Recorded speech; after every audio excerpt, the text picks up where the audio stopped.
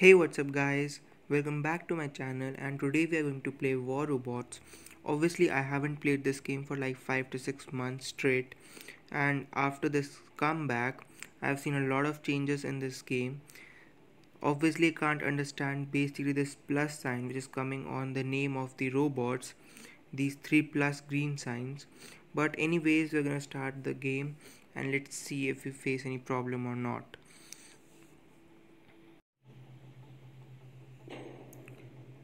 so I know some of them not all like domination of the basic ones with which game started and then beacon rush came. So my favorite one is this one only so I'm gonna start battle with this one only